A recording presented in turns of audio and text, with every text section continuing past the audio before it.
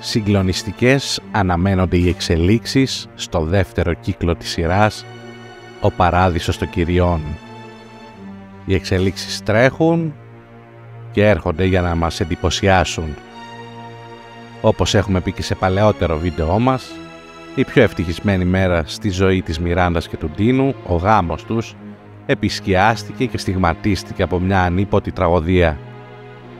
Μετά την εντολή που έδωσε η Βικτόρια, ο Παράδεισος κάει και ολοσχερός.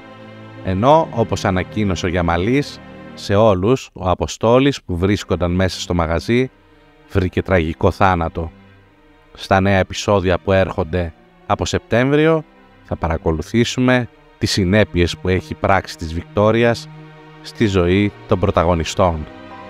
Σύμφωνα λοιπόν με νεότερες πληροφορίες, πέραν από τον Τίνο που δεν μπορεί να πιστέψει ότι το μαγαζί που δημιούργησε με τόσο κόπο και κατάφερε να το κερδίσει, πίσω, ύστερα από πολλές δυσκολίες μέσα σε μια στιγμή, έγινε στάχτη.